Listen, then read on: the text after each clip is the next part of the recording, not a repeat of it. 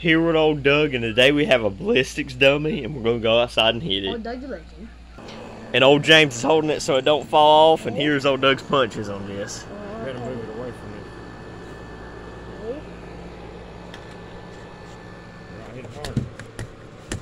me. There was some old Doug punches on it. He really didn't do no damage at all. Yeah, I saw his nose. it's pretty solid.